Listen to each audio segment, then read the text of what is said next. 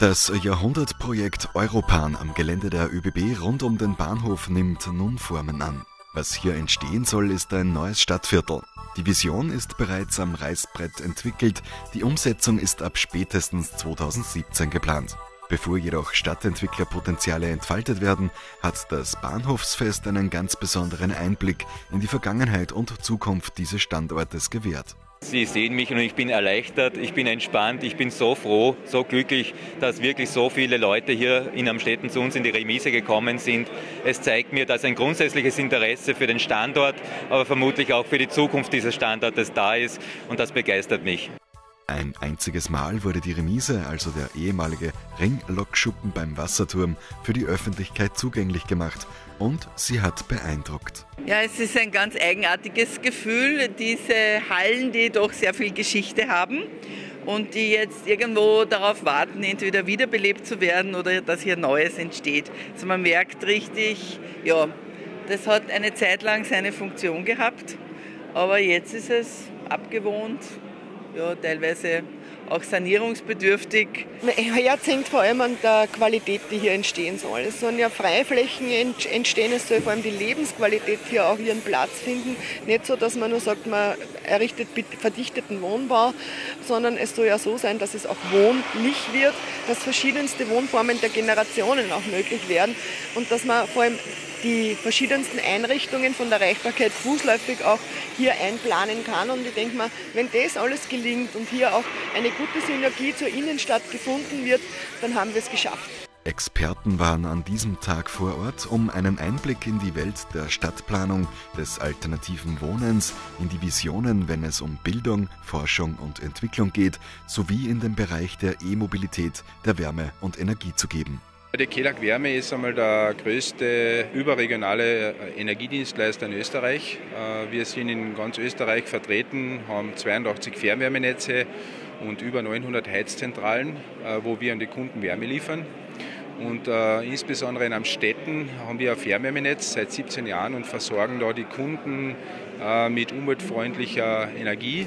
Auf dieser Basis sollen die Adern des neuen Stadtquartiers gelegt werden. Wir sind sehr interessiert an diesem neuen Projekt, äh, vor allem da mit äh, innovativen, nachhaltigen und intelligenten äh, Energiedienstleistungslösungen eine sichere Wärmeversorgung zu machen oder Energieversorgung. Das Projekt befindet sich ja mitten in Amstetten. Fernwärme aus unserer Sicht ist sicher für die Grundwärmeversorgung ein super Produkt. Äh, wir wollen aber natürlich auch Innovation reinbringen, sprich äh, Wärmepumpen, sprich äh, Solar, Photovoltaik und natürlich auch moderne, effiziente Energiedienstleistungslösungen, damit das Projekt ja auch dem entspricht, was auch seitens der Stadt und der ÖPB sagen wir so geplant ist, etwas Innovatives zu machen. Auch auf die Geschichte des Bahnhofes wurde nicht vergessen. So haben Bilder aus dem Archiv die Entwicklung eines geschichtsträchtigen Standortes dokumentiert. Wenn ich ehrlich bin, äh, seit äh, diese Veranstaltung kundgetan wurde, ist bei mir im Kopf der Film wieder abgelaufen von der damaligen Zeit, vom Beginn meiner ersten Erfahrung mit einer Dampflokomotive als Lokheizer, später dann als Lokführer und die ganzen Strecken, die ich befahren habe. Da fällt es leicht, ein wenig in Eisenbahnnostalgie zu schwelgen. Ich kann verstehen, weil eine Schlagzeile äh, jetzt in der letzten Zeit gelautet hat, Eisenbahnen blutet das Herz, wenn man das sieht, das ist klar, ist verständlich. Wenn man jetzt die leeren Hallen sieht und äh, ja, da hat man ein sogenanntes Dampfrost, äh, äh Dampfrost betreut, dass er dann natürlich schweren Herzens Abschied nimmt von einem leeren Gebäude, das jetzt äh, ja, gegenstandslos und keine Verwendung hat. Ja, die alte Zeit, wenn man es äh, in Erinnerung rufen möchte, am Städten gäbe es wahrscheinlich in der Form überhaupt nicht, wenn nicht die Eisenbahn, Westbahn bzw. Kronprinz Rudolf Bahn damals geschaffen worden wären. In naher Zukunft werden die Weichen für ein Großprojekt gestellt, eines, das eine einmalige Chance für die Stadt Amstetten darstellt.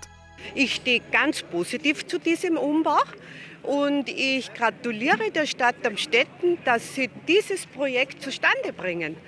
Also total positiv. Naja, man hätte schon ein bisschen was aufheben können, praktisch.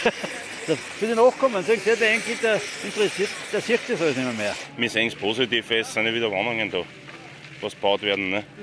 Ich glaube, dass es einfach veraltet ist und die Eisenbahn wird schon wissen, was macht. Ich habe ja alles schon über das gelesen und ich weiß, was alles kommt und ich finde es toll.